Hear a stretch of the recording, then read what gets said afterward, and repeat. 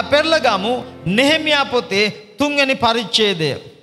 නෙහෙමියා තුන්වෙනි පරිච්ඡේදය. අද දවසේ අපි මුළුමනින්ම නෙහෙමියා පොතේ තුන්වෙනි පරිච්ඡේදය අධ්‍යයනය කරනු ලබනවා. පරණ ගිවිසුමේ කොට ලේසි වෙන්න මං කියන 630 වෙනි පිටුව. 630 පරණ ගිවිසුමේ 630 පිටුව. නෙහෙමියා පොතේ තුන්වෙනි පරිච්ඡේදය අපි අද දවසේ අධ්‍යයනය කරන්නට යනවා. අපි දන්නවා නෙහෙමියා පොතේ තිබෙන්නේ යෙරුසලමේ පවුර ගොඩ නැගීම. යෙරුසලමේ පවුර සතුරන් විසින් කඩලා බිඳලා දැම්මුවා. යෙරුසලමේ පවුර සතුරන් විසින් කඩලා බිඳලා දැම්මුවා.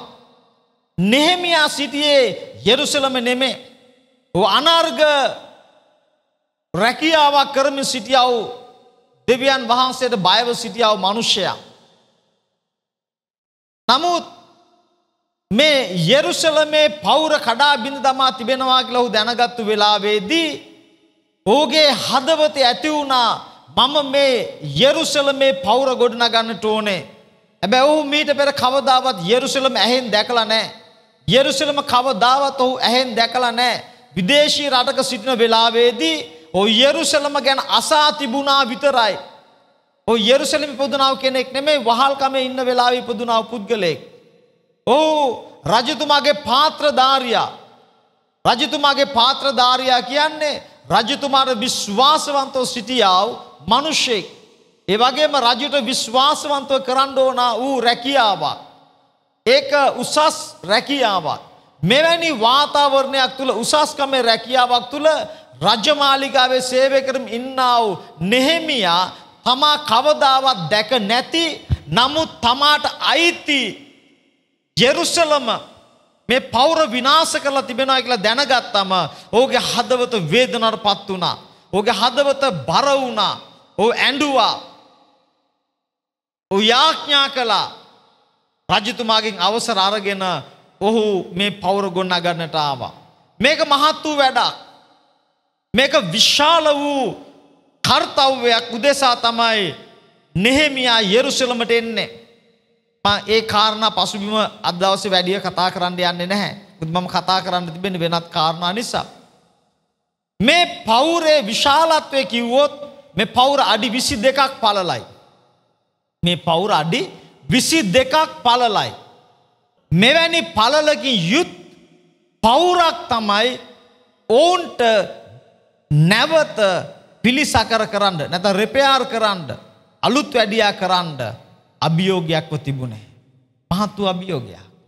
මේ ස්ථානෙන් අපි නෙහෙමිය පොත කියවදි දකින මේක මහත් වැඩක් කියලා කියන.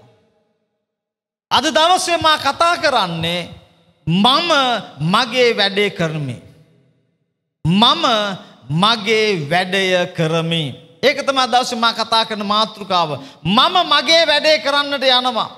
අද දවසේ සිට අපි එකිනෙක කෙනා අපි එකිනෙක කෙනාගේ වැඩේ කරමු. අපි එකිනෙක කෙනාට අදාළ වූ වැඩක් තිබෙනවා. අපි එකිනෙක කෙනාට අදාළ වූ වැඩ කොටසක් තිබෙනවා දේව රාජ්‍යයේ. අප දවසේ අපි කතා කරන්න යන්නේ මම මගේ වැඩේ කරමි. මම මගේ වැඩේ කරන්නට යනවා. මම මගේ වැඩේ කරන්නට යනවා. අපි මේ උදෙසා තේරුම් ගන්න ඕන වූ කාරණා රාශියක් තිබෙනවා. බොහොම කෙටියෙන් මං කරුණු 8ක් විතර ඔබට කතා කරන්න යනවා මේ වෙලාවේ. කරුණු 8ක් කියන්නේ දේශනාව කෙටි බය වෙන්න එපා. හරි? ඔබ දන්නවනේ කරුණු 3ක් නම් සාමාන්‍යයි කරුණු දෙකක් නම් දේශනාව භයානකයි. කරුණු 8ක් කියන්නේ දේශනාව ඉක්මනින් ඉවර වෙන්න ලකුණක් තිබෙනවා. අපි තේරුම් ගන්න ඕන වූ කාරණා තමයි ඒ අතර පළවෙනි කාරණාව විවිධ අය වැඩ කළා. අද දවසේ මා කතා කරන්නේ දේව රාජ්‍යයේ වැඩේ ගැනයි. අද දවසේ මේ පෞර තුලින් මා කතා කරන්නේ දේව රාජ්‍යයේ වැඩේ ගැනයි. අද දවසේ අපිට තිබෙන අභියෝගය පෞරක් ගොඩනගා ගන්න නෙමේ. අද දවසේ අපිට තිබෙන අභියෝගය තමයි මේ කෑගලු දිස්ත්‍රික්කයේ. හාලලූයා. ළඟේ කෙනා කියන්නේ ඔබෙත් මගේත් අභියෝගයේ කෑගල්ල. ළඟේ කෙනාට හොඳට කියන්න අපේ අභියෝගයේ කෑගල්ල. අදවස අපි කෑගලු දිස්ත්‍රික්කය ගැන කතා කරමු. අපි කෑගලු දිස්ත්‍රික්කේ ප්‍රධාන නගරේ ඒ නගරේත් නගරේ මැද අපි සිටින්නේ.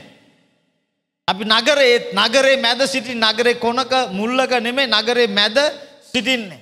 අපි කෑගල් දිස්ත්‍රික්කේ ප්‍රධාන නගරේ ඒ නගරෙත් මැද සිට අපි කතා කරමු අද දවසේ මේ කෑගල්ල ගැන දෙවියන් වහන්සේ මට දීලා තිබෙන වගකීම. මා කිව්ව පළවෙනි කාරණාව විවිධ අය වැඩ කළා. අපිට පේනවා හැම මනුෂ්‍යයෙක්ම වැඩ කරනවා.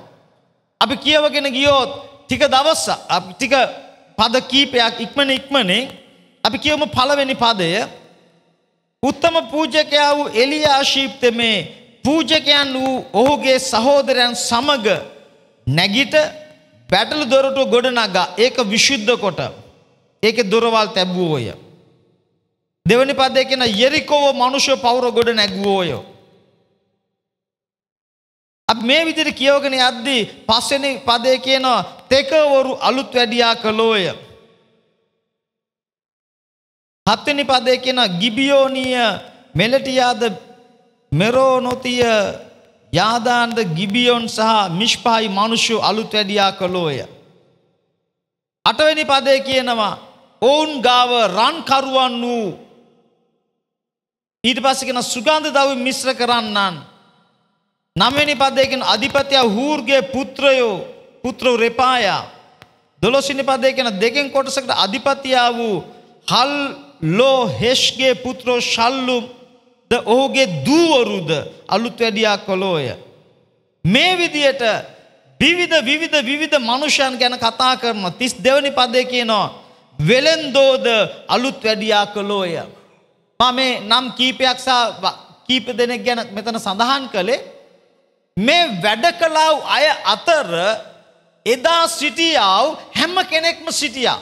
පූජකරු සිටියා පූජකවරුන්ගේ පුත්‍රයෝ සිටියා වෙළෙන්දෝ සිටියා රංකරු සිටියා සුවඳ ද්‍රව්‍ය මිශ්‍ර කරන්නන් සිටියා කාන්තාව සිටියා විවිධ ජාතීන් හිටියා විවිධ පළාත් වලින් ආපු අය සිටියා යෙරුසලමේ අය යෙරුසලමේ යෙරුසලමට දුර සිට ඇවිල්ලා උදව් කරපු අය සමහරු විවිධ ඈත පැතිවල ඉඳලා උදව් කරන්න ආවේ මේ වගේ මේ වගේ මේ වගේ විවිධ විවිධ විවිධ සමාජ මට්ටම් වල මනුෂ්‍යයෝ මේ උදෙසා වැඩ කළා.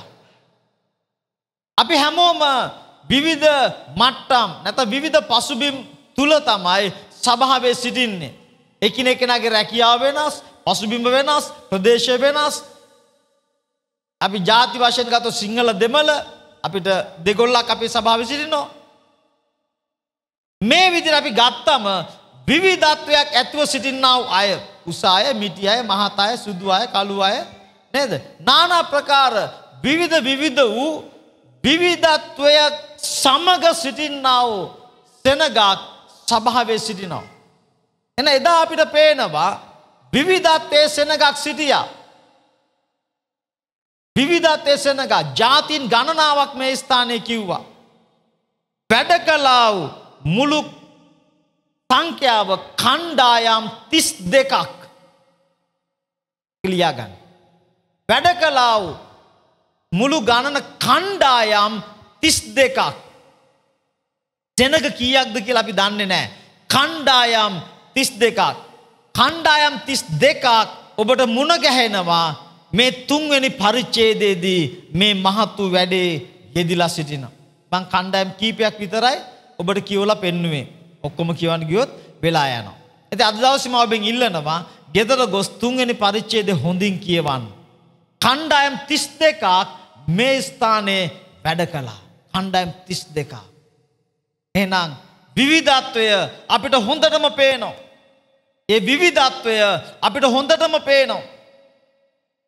එවැනි විවිධත්වයකින් යුක් සෙන එවැනි විවිධත්වයකින් යුත් සෙනගක් ඒකත්වයෙන් වැඩ කළා එක අරමුණක් උදෙසා. ඕන් හැමෝටම තිබුණේ එක අරමුණයි. අරමුණු දෙකක් තිබුණේ නෑ. ඕන් හැමෝටම තිබුණේ එක අරමුණයි එක අරමුණක් උදෙසා කණ්ඩායම් තිස් දෙනෙක් එක් සිත්ව වැඩ කළා එක් සත්ව වැඩ කළා සහයෝගෙන් වැඩ කරා සහයෝගෙන් වැඩ කළා. එක් සත්ව වැඩ කළා. ඔවුන් කණ්ඩායම් වශයෙන් වැඩ කළා. මේ කණ්ඩායම මේ ජාතිය මේ විදිහට දැක්ක. වෙලෙන්දෝ බහුවචනෙන් කතා කරේ. ආ? රංකරුවන් සුගන්ධ ද්‍රව්‍ය සුවඳ ද්‍රව්‍ය මිශ්‍ර කරන්නන් පූජකවරු සවුන්ගේ පුත්‍රයෝ තෙකෝවරු මිෂ්පාවරු ජාතින් ඒ විදියට බහුවචනෙන් කතා කරලා තිබෙන්නේ. ඕනුත් එක්සත්ව මේ මුළු කණ්ඩායම් තිස් දෙකත් එක්සත්ව වැඩ කළා එක අරමුණක් උදෙසා. අපිට තිබෙන්න ඕන එක අරමුණයි.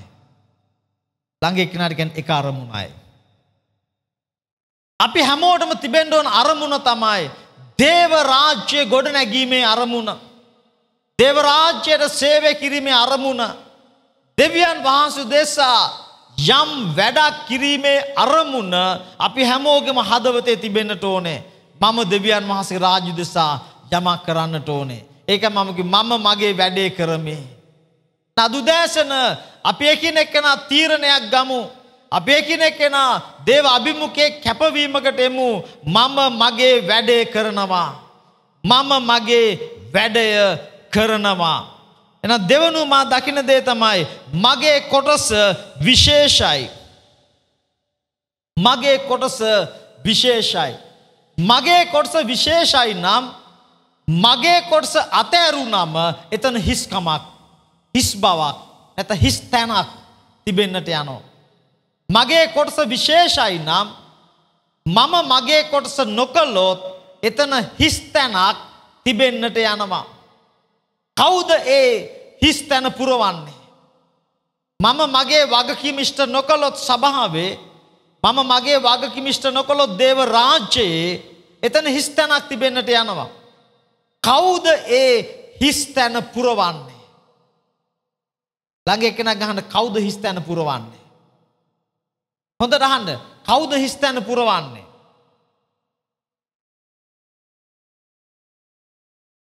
ප්‍රශ්න පත්තරවල නම් හිස්තැන් පුරවන්න තියෙනවා. ප්‍රශ්න පත්තරයක් නම් ඉස්කෝලේ නේද? හිස්තැන් පුරවන්න තියෙන පොඩි ළමයිට. හැබැයි මේකේ හිස්තැන් පුරවන්න බෑ එහෙම. ප්‍රශ්න පත්‍රයක් නොවන නිසා. මම මගේ වැඩේ නොකළොත් එතන හිස්තැනක්. ඔබ ඔබෙන් අහන්න ඒ හිස්තැන පුරවන්නේ කවුද කියලා. ඔබෙන් අහන්න හැමෝම අහන්න ඒ හිස්තැන පුරවන්නේ කවුද?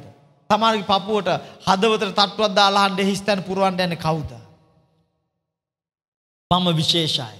මේ වැඩේ තුළ මේ පෞර ගොඩනැගීමේ වැඩේ තුළ මෙ හැම පුද්ගලයෙක්ම විශේෂව සිටියා. හැම පුද්ගලයෙක්ම විශේෂව සිටියා. මම විශේෂයි. දේවරාජ්‍යයේ උන්වහන්සේ අපි හැමෝටම වැඩක් පවරලා තිබෙනවා. දේවරාජ්‍යයේ උන්වහන්ස අපි හැමෝටම වැඩක් පවරලා තිබෙනවා. වැඩක් නැති කිසිවෙක් නැහැ. දෙවරාජ්‍ය නිකං ඉන්ඩ අයිති කිසිවෙක් නෑ. හාස්කමක් ලබල සුවේ ලබල දැන් ඇති හලලූය ප්‍රසංසාවය ප්‍රේසලෝඩ් කියලා නිශ්්‍යලව ඉන්ඩ අපිට දේවරාජ්‍ය තුළ අයිතියක් නැහැ. දේවරාජ්‍ය තුළ එවැනි අයිතියක් නැහැ. අපි හැමෝම දෙවියන් වහන්සට සේවය කරන්නට ඕනේ. අපි හැමෝම දේවරාජ්‍යයට වැඩ කරන්නට ඕනේ. අපි හැමෝටම දේවරාජ්‍යය වගකීමක් තිබෙනවා. යේසුස් වහන්සේ මුළු කිතුනුවන්ටම වගකීමක් පවරලා ගියා. ලෝ මුල්ලේ ගොස් සකල ජනතාවට සුභාරංචි දේශනා කරන්න. එනම් අපි හැමෝගෙම මූලික වගකීම තමයි සුභ ආරංචිය ප්‍රකාශ කිරීම. අපි හැමෝම සුභ ආරංචිය ප්‍රකාශ කිරීම සුභාරංචිය එකිනෙක්කෙනට දේශනා කිරීමේ ප්‍රකාශ කිරීමේ වගකීම ඇතිව සිටිනවා. මේ වගකීමෙන් අපි කාටවත් ගැලවෙන්නට බැහැ. සුභාරංචි ප්‍රකාශ කිරීමේ වගකීමෙන් අපි කාටවත් ගැලවෙන්නට බැහැ. තැ සමහරයි ඉන්නවා ඒ කෙනාට සුභාරංචි කියන්න පුළන් මට විතරයි. සමහරයි ඉන්නවා ඒ කෙනාට සුභාරංචි කියන්න පුළන් මට විතරයි. එහෙමයි නැද්ද? එහෙමයි නැද්ද? සමහරට ඔබේ අසල් වැසියා. සමහට ඔබේ නෑදෑය.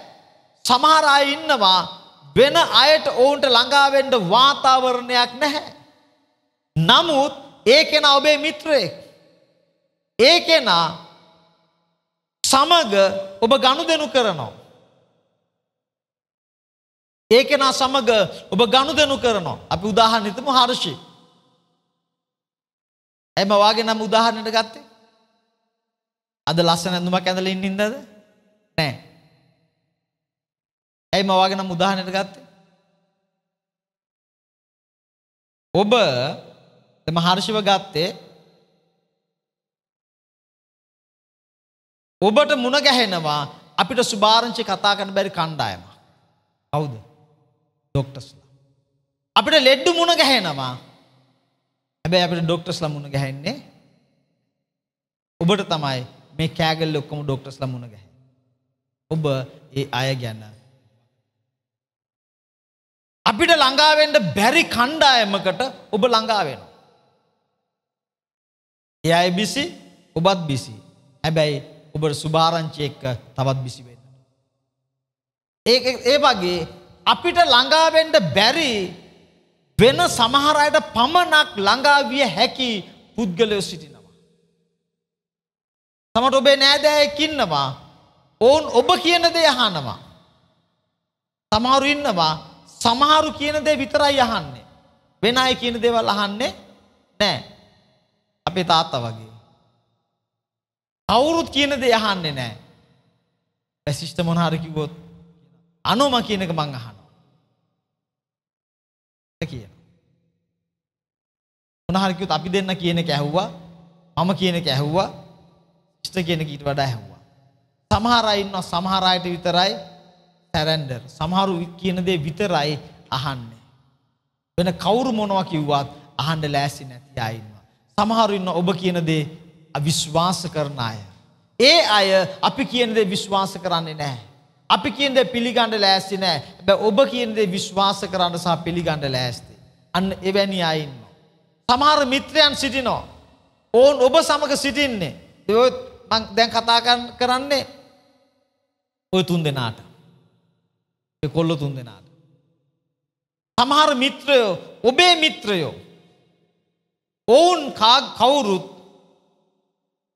මේ අයගේ යාළුව නෙමේ. ඔබ තුන් දෙනා විතරයි ඒ අයගේ මිත්‍රය.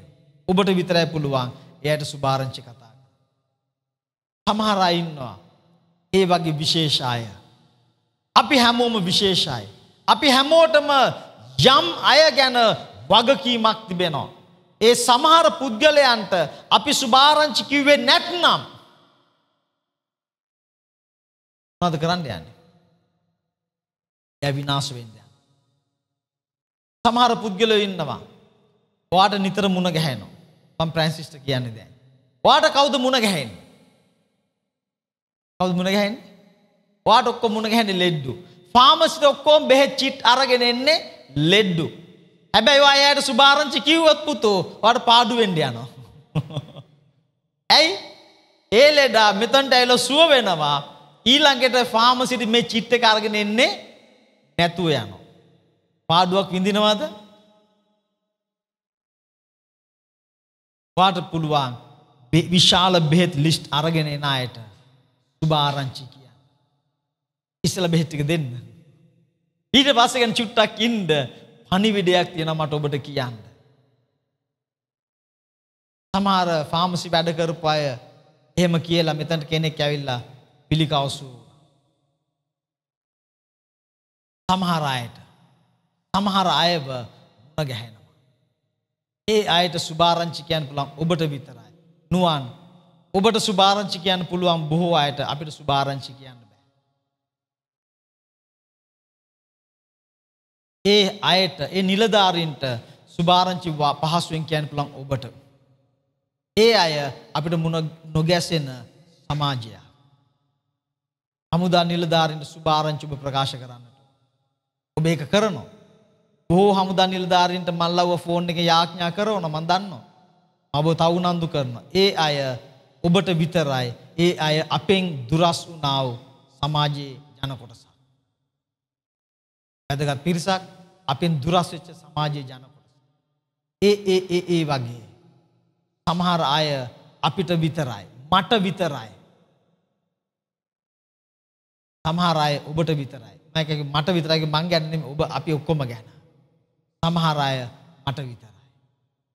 ඒ අයට සුභාරංචි කිව්වේ නැත්නම් මම කවුද ඒක කරන්න යන්නේ. මම විශේෂයි මගේ කොටස මගේ ඇරුණොත් එතන හිස්තැන. ඒ හිස්තැන මුදල්වලින් නෙමෙයි විනාශ වෙන්නේ ආත්මයක් අපායට යාමේ. ආත්මයක් අපායට යාමේ. ඒ නිසා වගකීම් ඉෂ්ට කරන්න හම්බෙච්ච පළවෙනි වෙලාවේදී ඒ වගකීම් ඉෂ්ට කරන්න. සුභාරංචි දීමේ වගකීම් ඉෂ්ට කරන්න අවස්ථාව ලැබුණු පළවෙනි වතාවේදීම ඒ වගකීම් ඉෂ්ට කරන්න. වගකීම් ඉෂ්ට කරන්න. පළවෙනි වතාවේදී මේ වගකීම් ඉෂ්ට කරන්න. නොවුනොත් අපිට සිද්ධ වෙනවා ගණන් දෙන්න.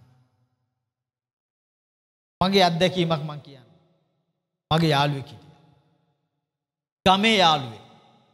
අපේ එක කාලෙක එක පාසලක හිටියා. ඔව් ඊට පස්සේ අස්වෙලා වෙන පාසලකට ගියා. તો ගමේ සිටියා.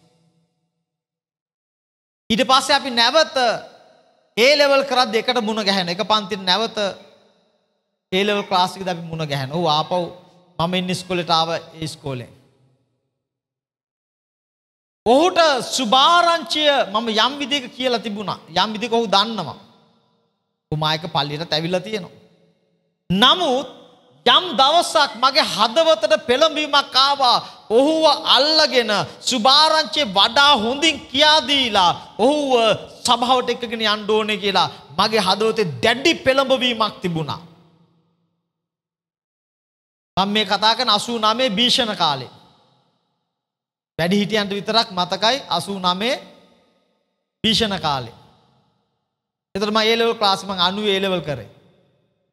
මට මේ යාළුවාට සුභාරංචි කියාගන්න බැරුව ගියා. මම හිතුවා බැරුව ගියා කියන්නේ ඇයි? ඒක මම වගකීම පැහැර හැරියා. මට කියන්න අවස්ථාවක් තිබුණා. කියන්න අවස්ථාවක් තිබුණා. මගේ ගෙදර ඉඳලා කිලෝමීටර් දෙකයි ඔහුගේ ගෙදරට තිබුණේ. නමුත් මම හිතුවා පස්සේ කියන්නම්. හැබැයි ඒ සතියේ ඔව් කෝච්චියට බෙල්ල තියලා මැරුණා. ඔව් කෝච්චියට බෙල්ල තියලා මැරුණා. මම යනකොට කඳ එක තැනක ඔළුව තව තැනක තිබුණා. මම මගේ වගකීම මගේ ඒ මිත්‍රයා සම්බන්ධයෙන් කළේ නැහැ. ආත්මයන් වහන්සේ මට පෙළඹවීමක් දුන්න ඒක කරන්න. මං ඒක කරේ නැහැ. ඌ අපායට ගියා. දෙවියන් වහන්සේ මට සමාව දුන්නා. ඒක හරි. නමුත් ඒ ආත්මයට මොකද උනේ? ඒ ආත්මي ගන්න බෑ. අපි අපේ වග්මිෂ්ඨ නොකරොත් ප්‍රතිඵලය ආත්මයක් අපායට යන්නේ. ළඟ එක්කෙනාට කියන්න. ප්‍රතිඵලය ආත්මයක් අපායට යන්නේ. කියන්නේ ඒ නිසා කියන්න ඒ නිසා වගකීම් ඉෂ්ට කරන්න කියලා කියන්නේ. මම විශේෂයි මං වගකීම් ඉෂ්ට නොකරොත් හිස් තැනක් ඒ හිස් තැන ඉන්න මිනිහෙක් ඒ මිනිසයා අපායට යනවා.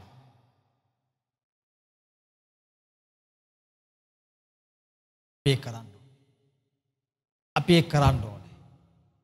මම දුරකථන ඇමතුම් එන බොහෝ වෙලාවට උත්සාහ කරනවා ඒවට ආන්සර් කරන්න. පරණ කතාවක්. මම යම් තැනකට යන්න තිබුණා.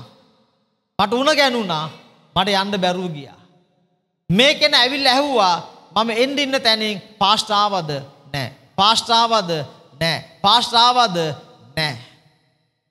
තුන්වෙනි වතාවත් ඒ කෙනා බැලුව මං ආවද නෑ මං එන වෙලාව පැයකට වඩා පරක්කුයි මේ ගෙදරයි කිව්වා ඒ කියන්නේ අද පාස්ට් එන්නේ නෑ. මට උණ හැදිලා. අර කෙනා ගෙදර ගියා ගත්ත ඇසිඩ් බෝතලේ බිව්වා. මම ගියා ඇසිඩ් බිව්වට පස්සේ. හැබැයි මම ගියේ බලලන්න. මේ මෑතක සිද්ධියක් වුණා. මේ මෑතක සිද්ධියක්. මට කෙනෙක් කෝල් කරා. මොක අනේ පුතේ මම පොඩ්ඩක් බිසි ප්‍රශංසනීට ඩෙන්ගු හැදිලා මම එයාව හොස්පිටල් අරන් යන්න ඕනේ. කලන්තේ දාලා වැටිලා කට කඩාගෙන අර චුට්ටක් වැඩි හින්දා මම එයා හොස්පිටල් ගෙනියන්න යනවා. හැ හැ හැ ගාන ලේ වැක් ආවා නහය නහයක් කැඩුනා කටත් කැඩුනා. නහය මෙතන කැඩලා තියෙන ප්‍රසාගේ. පුතේ මට හදිසි හොස්පිටල්. හරි පාස්ටර් මම පස්සේ කතා කරන්න.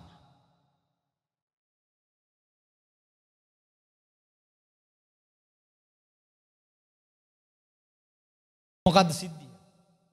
ඒ කියනා පෙති බිව්වා මැරෙන්න. මාසෙකට උඩ මාසයක් දෙකක් ඇතින් ප්‍රසාර ඩෙන්ගු හැදිලා කොච්චරද? ඩෙන්ගු හැදිච්ච වෙලාව. හොස්පිටල් ඇඩ්මිට් කරන්න යන වෙලාව. ඒ නිසා දුරකථන ඇමතුමක් ආවොත් පුළුවන් තරම් උත්සාහ කරන එකට උත්තර දෙන්න. මොකද ඒ ප්‍රමාදය ජීවිතයකින් අවසන් වෙන්න ඉඩ කඩ තියෙන නිසා. ඒක මගේ ෆෝන් පැය 24ම වැඩ කරන්නේ. පැය 24ම වැඩ කරන්නේ ඒක.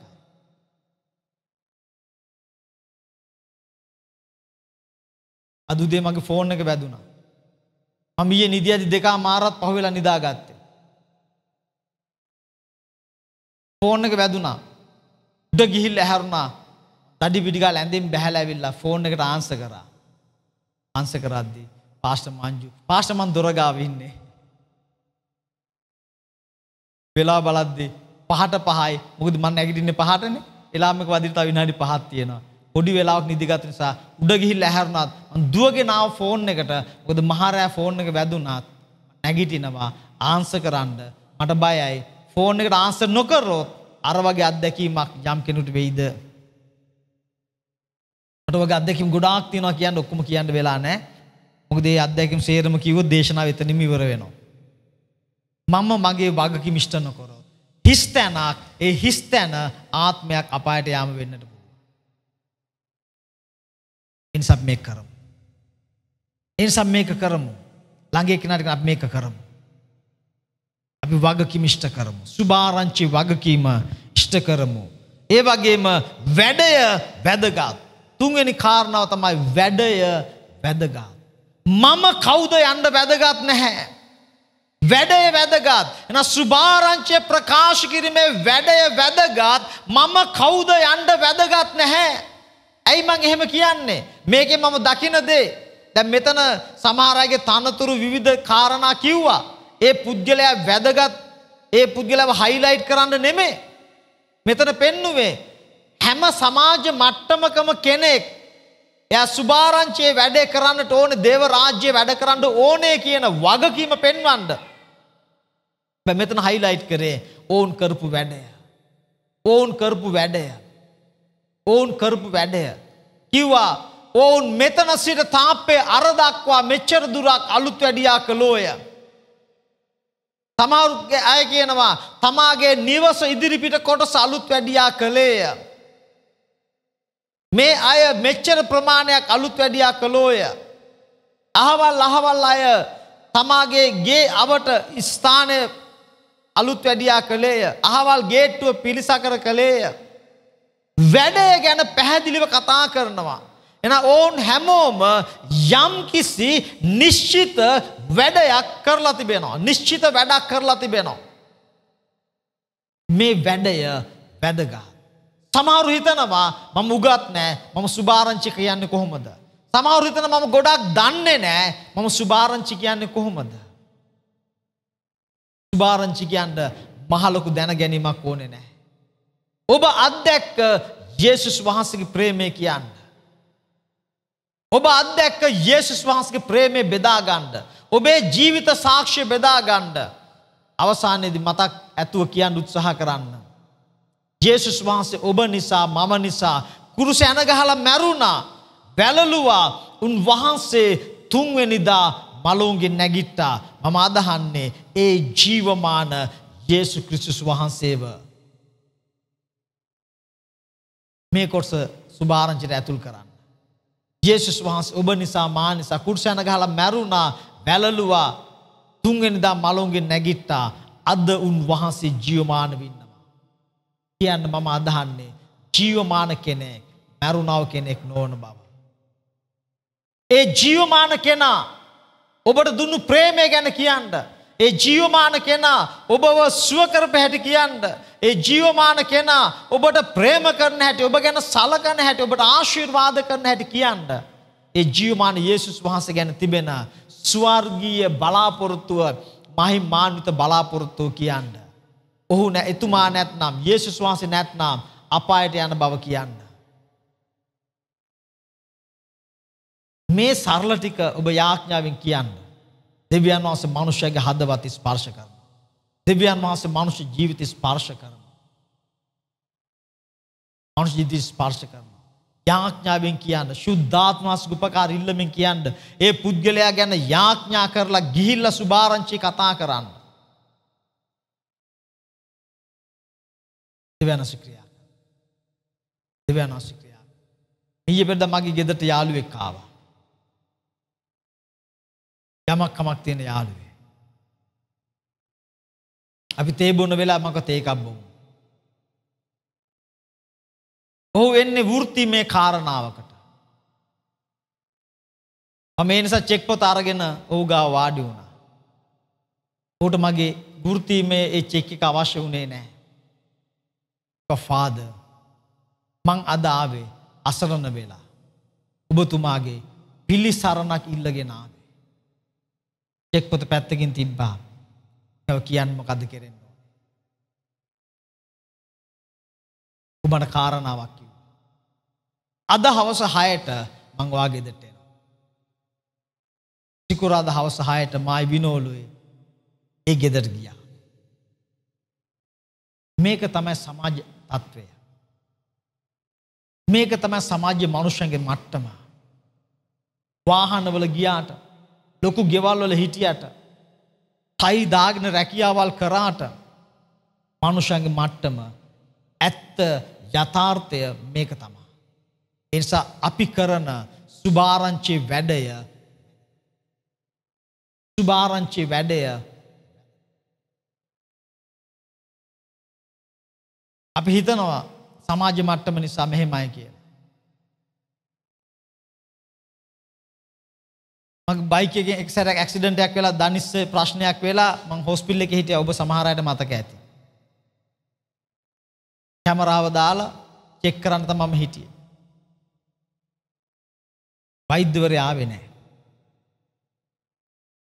ඌ පස්සේ මං ගාවට ඇවිල්ලා කිව්වා ෆාදර් මට කතාවක්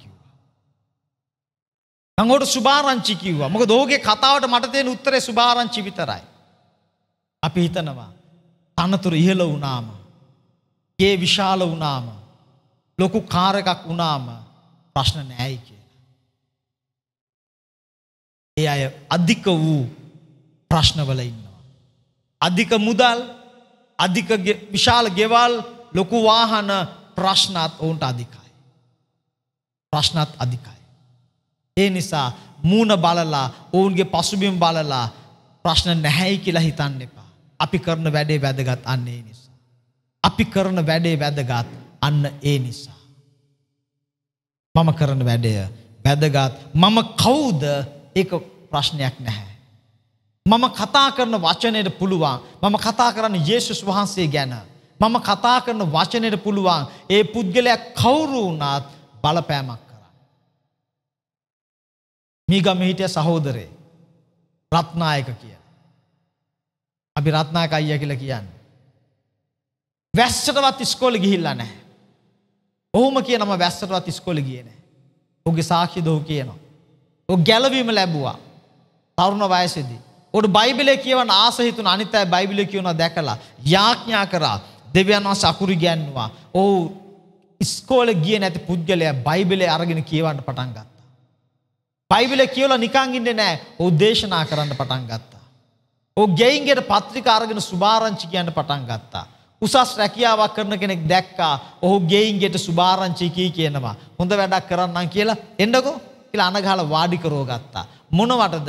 දැක්ක නෝන්ජල් උගත් නැති කෙනෙක් මඩවන්න. ඔව් කෙලින්ම කිව්වා මම ඔහු ගෙට ගත්තේ මඩවලා අරින්න.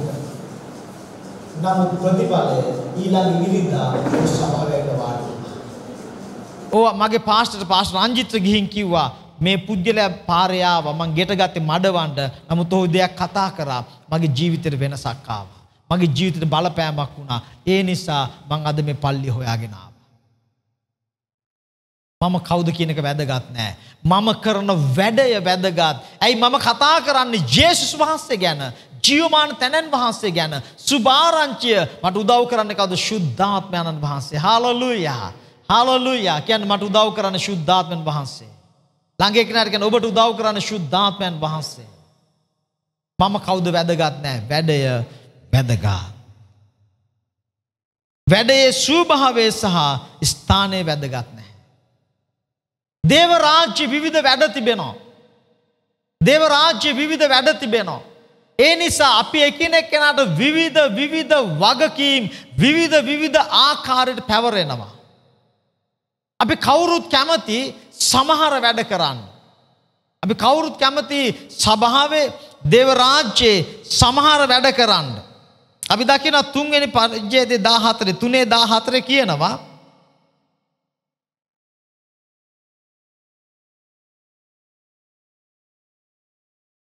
කසල දොරටුව බෙත් හක් කෙරෙම් පලාතේ අධිපතියා වූ රේකාබ්ගේ පුත්‍ර වූ මල්කියා අලුත් වැඩියා කළේය. ඔහු ඒක ගොඩනගා ඒකේ දොරවල් හා තහඩුද අගුල්ද තැබුවේය. අධිපතියාගේ පුත්‍රයා ඒ පලාතේ හක්කේරෙම් පලාතේ අධිපතියාගේ පුත්‍රයා මල්කියා මොකක්ද අලුත් වැඩියා කරේ කසල දොරටුව කසල දොරටුව.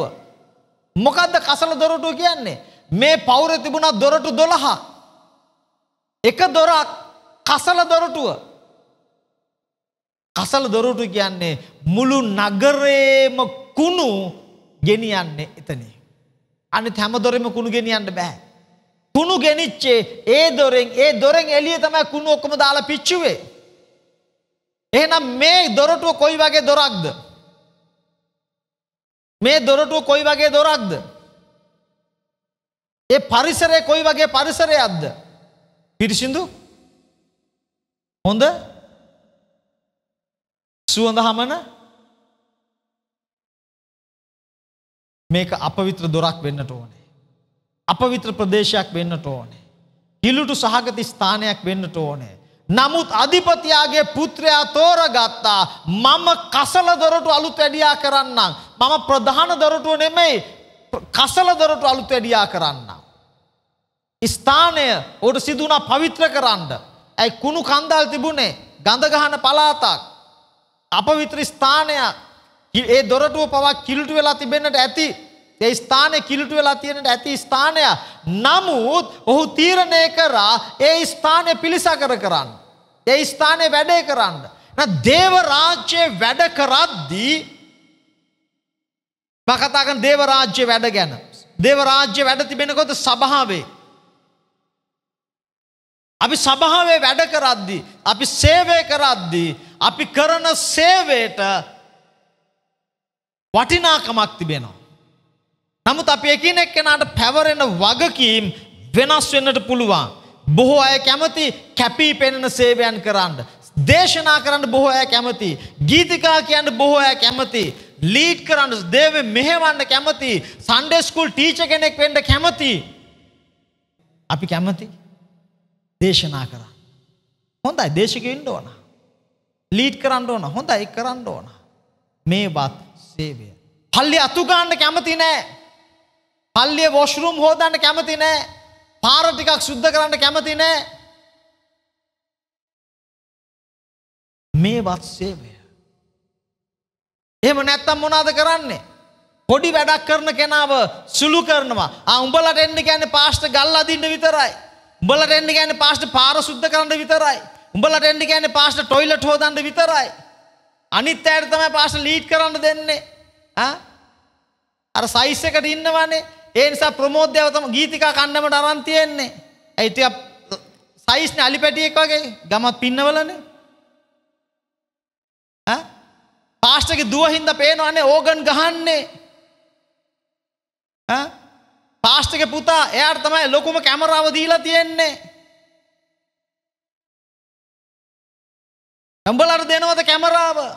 ඇයි මේ පොඩි කොල්ල දැන් මේ ඇච්චෝ බිච්චෝ අර විනෝල්ගේ ලොකු පුටුවේ ඉඳගෙන මම දවසක් යද්දි මේ පොඩි එක වැඩ විනෝල්ගේ කම්පියුටර් ලොකු කම්පියුටර් විනෝල්ගේ පුටුවේ පැද්දි පැද්දි එහෙම පිනෝල් බංකුවක් උඩ ඉඳගෙන හිටියා මම දැක්කා.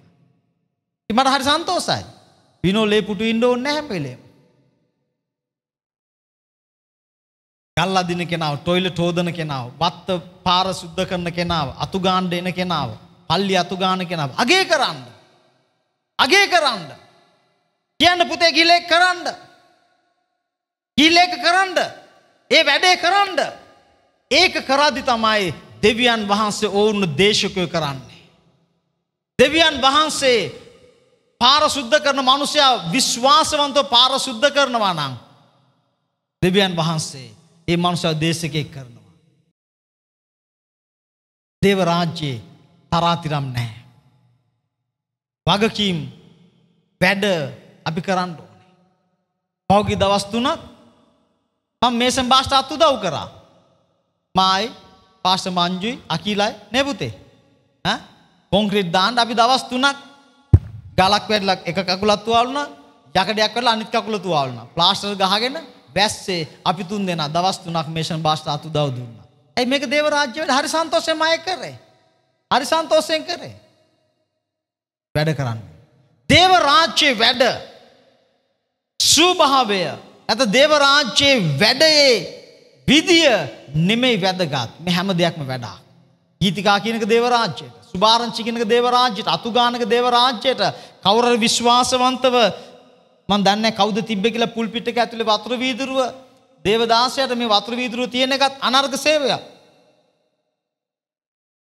දේවමෙන් පස්සේ පල්ලි අතුගාලා මොප් කරලා පුටු හදලා යන එක අනර්ග සේවයක්. ඒ නිසා මං කාන්තාවන්ට කියන අදින් පස්සේ ඔගොල්ලෝ බෙදා හදාගෙන පල්ලි අතුගාලා මොප් කරලා පුටු හදලා යන්න.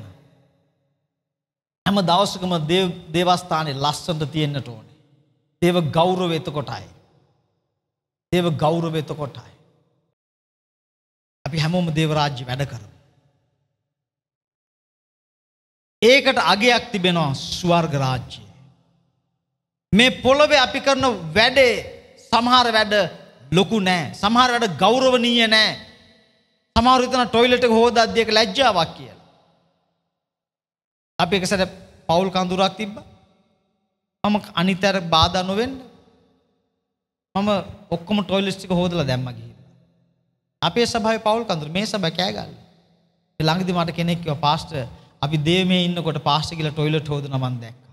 මං කාටවත් ඒක කිව්වේ නැහැ. ලැජ්ජ වෙන්න දෙයක්. දේව රාජ්‍ය වැඩ හැම වැඩකටම අගේ සමානයි. මේ දේශනා කරන්නාටත් ගීතිකා කරන්නාටත් ටොයිලට හෝදන කෙනාටත් පල්ලි අතුගාන කෙනාටත් පාර සුද්ධ කරන කෙනාටත් මේක ගල්වැලි අදින කෙනාටත් මේ කැමරා කරන අයටත් මේ ඔක්කෝටම ස්වර්ගය විපාකය සමානයි. ස්වර්ගය විපාකය සමානයි. දේශකයට වැඩි විපාකයක් ටොයිලට හොදපු කෙනට අඩු විපාකයක් නෑ. විශ්වාසවන්තව දේව රාජ්‍ය මොන වැඩේද කරන්නේ ඒ හැමෝටම ලැබෙන විපාකය සමානයි. එහෙම නැත්නම් පාස්ටට වැඩි විපාක දීලා ටොයිලට හොදපු කෙනට යන්තම් මොනහර දීලා දෙවන්සේ ඇව ශේප් කරන්නේ නෑ. කැපවීමෙන් දේවරාජ්‍යයට ආදරයෙන් පුටු හැදුවනම් පල්ලි අතුගෑවන ටොයිලට හේදුවනම් පාර විසිගැහ්වනම් බිල්ලිං හදන වැඩවලට ඇල උදව් කරානම් ගල්වැලි ඇද්දනම් මේ හැමෝටම ස්වර්ග මහත් විපාකයක් තිබෙන හලලුය හලලුය එනිසා වැඩේ සූභාවය හා ස්ථානය වැදගත් නැහැ. වැඩේ සූභාවය සහ ස්ථානය වැදගත් නෑ. දේවරාජ්‍ය වැඩේ තමයි වැදගත්. කැපි පෙනෙයි කැපි නොපෙනෙයි දෙවරාජ්‍යයට වැදගත්. අපි ජුවලිතව සේවය කළ යුතු තුනේ විස්ස කියනවා.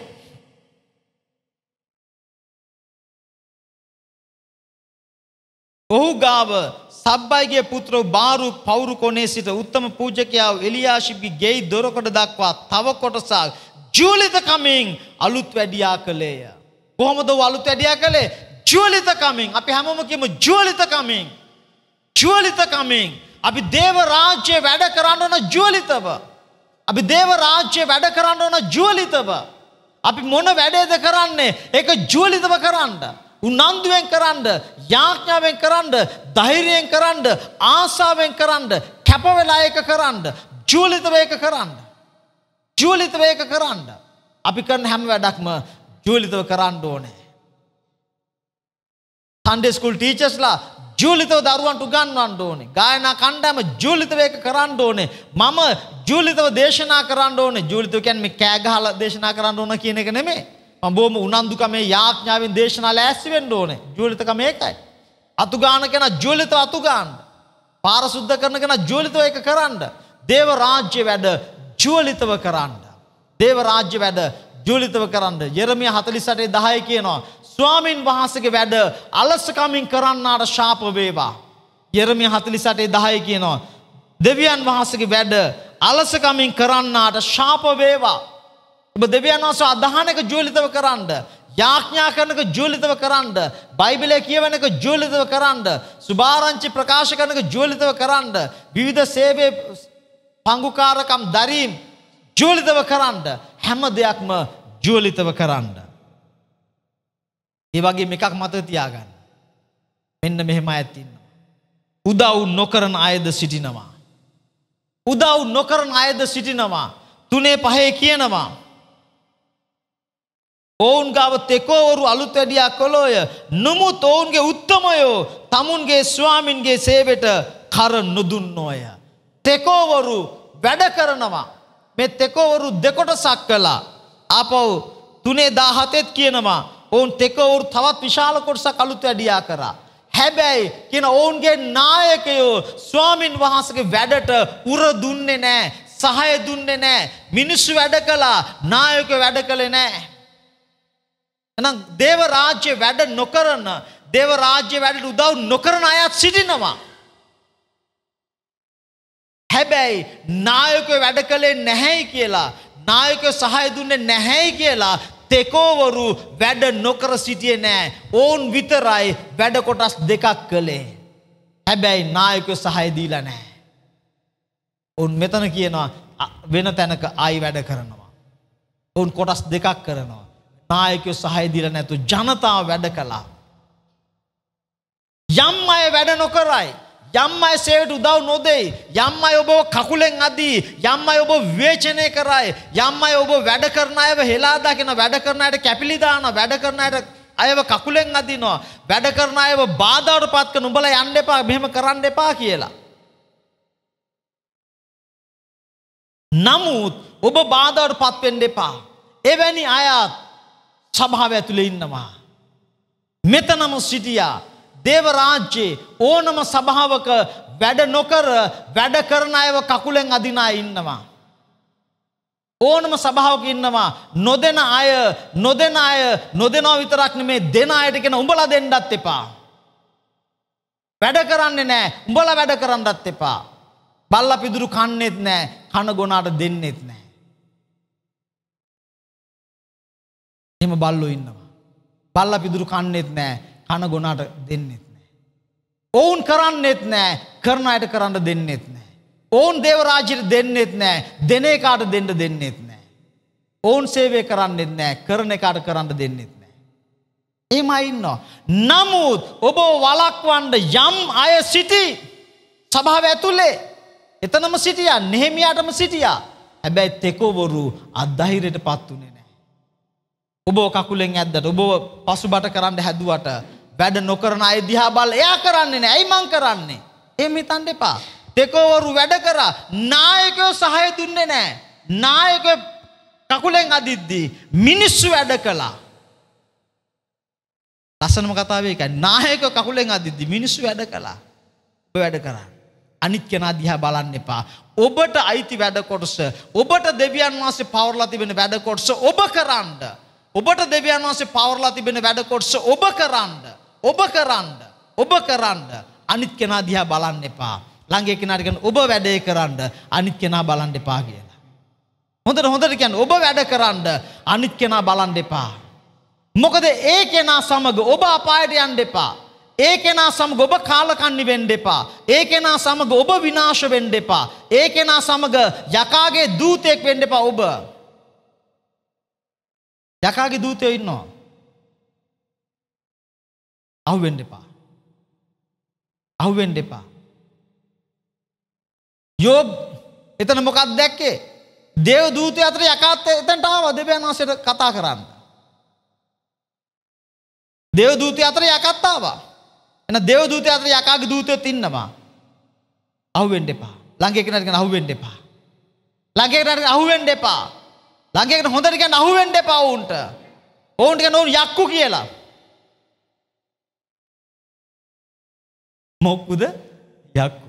ඒක ඒස්වාස්ගේ සාතන් පලයන් පස්සට කාර්ද ගැන්න පේත්‍රස්ට තමට පේත්‍රස්ලාත් යක්කු වගේ එන්න වෙලාවල් තියෙනවා. ඒවත් තේරුම් ගන්න ඕනේ.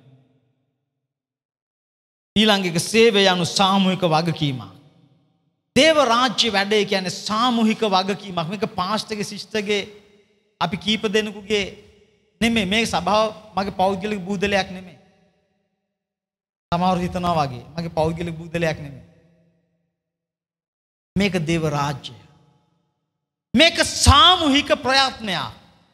මේ කෑගල්ල දිනා ගැනීම සාමූහික ප්‍රයත්නයක්. මේ සභාව සාමූහික ප්‍රයත්නයක්. මේ සභාව සාමූහික ප්‍රයත්නයක්. සේවය සාමූහික ප්‍රයත්නයක්. තනි කාරණාවක් නෙමේ. මේ සේවය අයිති පාස්ටට නෙමේ. මේ සේවය අයිති අපි හැමෝටම. මේ සේවේ වගකීම අපි හැමෝටම.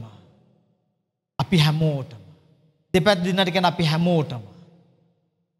මේ කෑගල්ල ආත්ම දිනාගැනීමේ වගකීම අපි හැමෝටම මේ කෑගල්ලේ ආත්ම දිනා ගැනීමේ වගකීම අපි හැමෝටම අපි හැමෝටම අපි හැමෝටම අපි හැමෝම නුබලා ලෝමුල්ලෙ ගොස් සකල ජනතාවට සුභාරංචි දේශනා කර. හැමෝම කළ යුතු වැඩක් මේක. බාධා පැමිණිය හැක. තුන්ගනි පරිච්චේදිකොට හතරනි පරිච්චේදිනුත් මම කොටසක් ගත්ත හතරේ නමය. විරුද්ධවාදී නාවා සන්බලා ටෝබියා මේ වගේ යම් අය නෙහෙමියාට සහ මේ අයට විරුද්ධවාදිකම් කළා. විරුද්ධවාදිකම් එන්න පුළුවන්. අපි සේවය කරදි බාධයි විරුද්ධවාදිකම් මේ කාලයක් අපිටත් තිබුණ විරුද්ධවාදිකම්. සුභාරංචික ඇති ගමේ විරුද්ධවාදිකම් මේ පවුලේ අයගෙම විරුද්ධවාදිකම් එයි පවුලේ අයගෙම ඔබට විරුද්ධතාව එයි ගමෙන් විරුද්ධතාව එයි යාළුවන්ගේ විරුද්ධතාව එයි ආගමික ස්ථානවල විරුද්ධතාව එයි නමුත් අපි අපේ වැඩේ අතාරින්නේ නෑ. අපි අපේ වැඩේ ගැන සැලෙන්නේ නෑ. ඔවුන්ට විරුද්ධවාදිකම් ආවා ඔවුන් මොනාද කළේ හොඳින් යාඥා කළා ඔවුන් විරුද්ධවාදිකම් වෙද්දි මොනාද කළේ යාඥා කරා කින ඔවුන් යාඥාවේ මුර තැබුවා හතරේ නවවෙනි පදේ ඔබ කියවලා බලන්න. ඔවුන් යාඥාවෙන් මුර තැබුවා. ඒ වගේම කියනවා සිත තිබුණා. ඔවුන්ට වැඩ කරන්න සිත තිබුණා.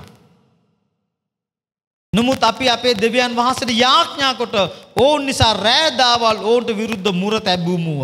ගහගන්න ගියේ නෑ. හැප්පෙන්න ගියේ නෑ. යාඥාවෙන් මුර තැබුවා. උන් යාඥා කළා. උද්දක්ම යාඥා කළා. ඒ වගේම 6 වෙනි පදයේ කියනවා එසේ වැඩ කරන්න සෙනගට සිත තිබුණේය.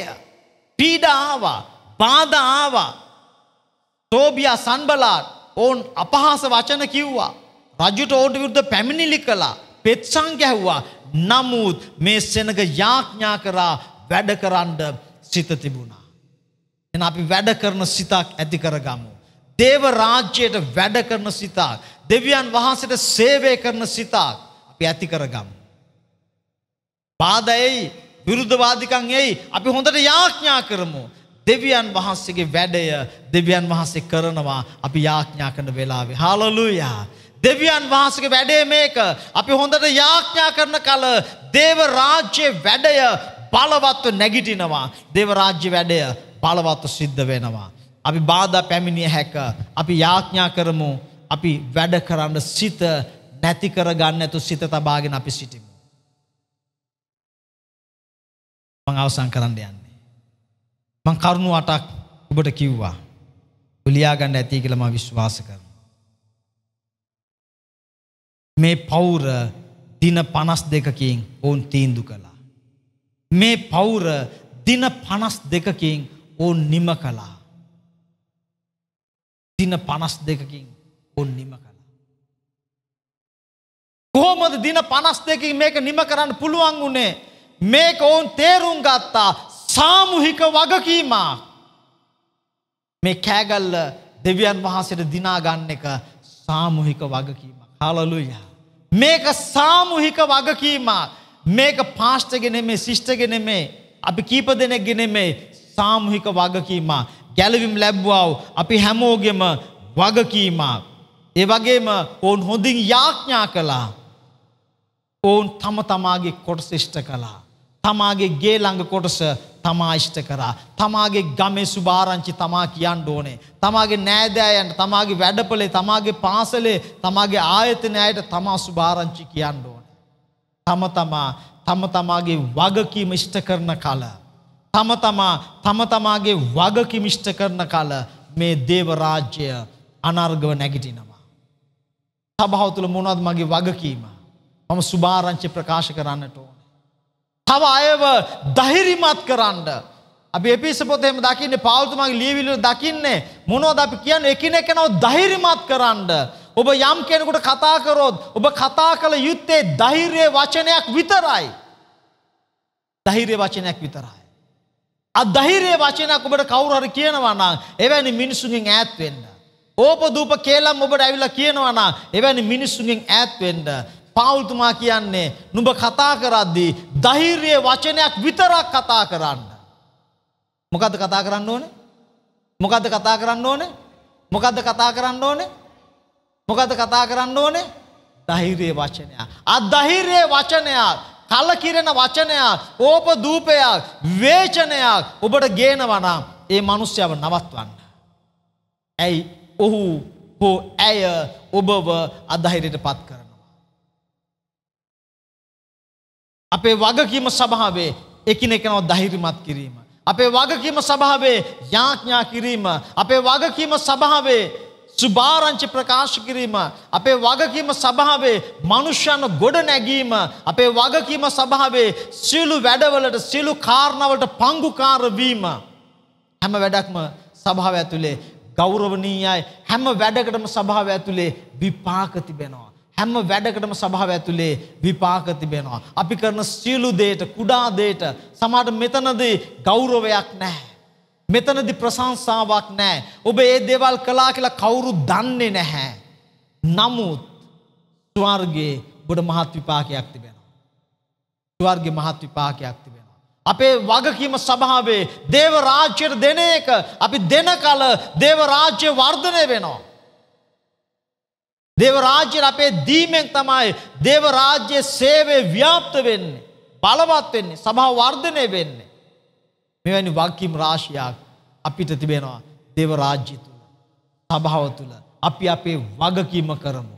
ඔවුන් කිව්වා ඔහු ගාව එයා වැඩ කළා එයා ගාව මෙයා වැඩ කළා මෙයා ගාව අරය වැඩ කළා කියලා නන් ලිස්ට් එකක් කියන මක කණ්ඩම් 32ක් වැඩ කළා. සමහරු කියනවා මෙයා නිසා මට සභාව ඉන්න බෑ. සමන් නිසා මට සභාව ඉන්න බෑ. එයා නිසා මට ඉන්න බෑ. තමන්ත නිසා මං සභාව ඉන්නේ නෑ. අජිත් නිසා මට ඉන්න බෑ. එයා නිසා මෙයා නිසා නෑ. එයා නිසා නෙමේ මෙයා නිසා නෙමේ තමාට බැරි තමා නිසා. මට අජිත් නිසා බැරිකමක් නෑ. මට අජිත් නිසා බැරි නම් ප්‍රශ්නය අජිත් ගෙනෙමේ අජිත් ප්‍රශ්නිකාගෙද. මගේ මට සමන් නිසා බැරිනම් මට ප්‍රශ්න තිබෙන සහෝදර සමන්ගේ නෙමේ ප්‍රශ්න තියෙන්නේ මගේ. නේද? ධනුෂිකා හින්දා මට බෑ. ධනුෂිකාගේ නෙමේ ප්‍රශ්න තියෙන්නේ ප්‍රශ්න තියෙන්නේ මගේ. මට එයා නිසා යාඥාවට එන්න බෑ. මෙයා නිසා යාඥාවට එන්න බෑ. එයා නිසා මට මේක කරන්න බෑ. මෙයා නිසා මට ඒක කරන්න බෑ. අරයා නිසා මට ඒක කරන්න බෑ. එයා නිසා මට සභාවේ ඉන්න බෑ. ප්‍රශ්න තියෙන්නේ එයාගේ නෙමේ. ප්‍රශ්න තියෙන්නේ මෙයාගේ නෙමේ. ප්‍රශ්න තියෙන්නේ තමාගේ. මොකද මෙතන කියනවා එයා ගාව මෙයා මෙයා ගාව එයා එයා ගාව මෙයා එයා ගාව මෙයා එයා ගාව මෙයා එයා ගාව මෙයා මෙයා ගාව එයා. සභාව කියන්නේ අන්න එහෙම එයා නිසා බෑ. කාලයක් සමහරු යාඥාවට ආවේ නැහැ. මොකද යාඥාවට එන්නේ නැත්තේ? එතන ඉන්න අය නිසා මට එන්න බෑ. ප්‍රශ්න තියෙන්නේ මෙතන ඉන්න අයගේ නෙමෙයි ප්‍රශ්න තියෙන්නේ එන්න බැරි කෙනා. ඊට පස්සේ මෙතන හරි නෑ. මෙතන ඇත්ත එක බෑගල සභාවනුත් ගිය. කමක් නෑ ගියාට. ප්‍රශ්නයක් නෑ. සභාවට පාඩු නෑ. එයා නිසා නෙමේ බැරි. මෙයා නිසා නෙමේ බැරි. බැරි මම නිසා. මගේ ආකල්ප නිසා. මගේ සිතිවිලි නිසා. මගේ ඇතුලාන්තය හරි නැති නිසා. ඒක නිසායි මට සහෝදර සමන්න එක බැරු යන්නේ. මගේ ආකල්ප හොඳ නැත්ත මට ඔයා එක්ක බෑ. මගේ ආකල්ප හොඳ නම් මට ඔත් එක පුළුවන්. එමනේ ඔයාට මාත් එක්ක බැරි කමක් නැහැනේ ආකල්ප වෙනස්කම් තමා වෙනස් වෙන්න. එයා ගාව මෙයා මෙයා ගාව එයා එයා ගාව මෙයා. අපිට පුළුවන් වෙන්න ඕන එයා ගාව මගේ වැඩ කොටස කරන්න. මෙයා ගාව මගේ වගකීම් ඉෂ්ට කරන්න. එයා ගාව මගේ කොටස ඉෂ්ට කරන්න. මම මගේ වගකීම තේරුම් අරගෙන. මම මගේ කොටස තේරුම් අරගෙන මම මගේ කොටස දේව රාජ්‍ය දෙසා කරමු මේකයි මේ නෙහෙමියාගේ පවුර දින පනස් දෙකකින් සම්පූර්ණ කරලා කැප කරන්න පුළුවන්කම ලැබුණේ. එහෙනම් ගොඩක් හිතුවට වඩා දේශනා දික් වුණා.